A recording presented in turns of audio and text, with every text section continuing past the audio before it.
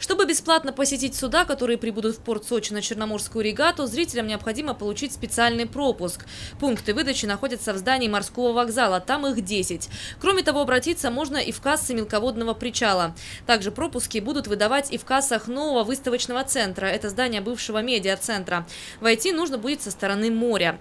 Пункты выдачи пропусков будут работать с 10 утра до 9 вечера. Для получения проходного билета нужен только паспорт или другой документ, удостоверяющий личность.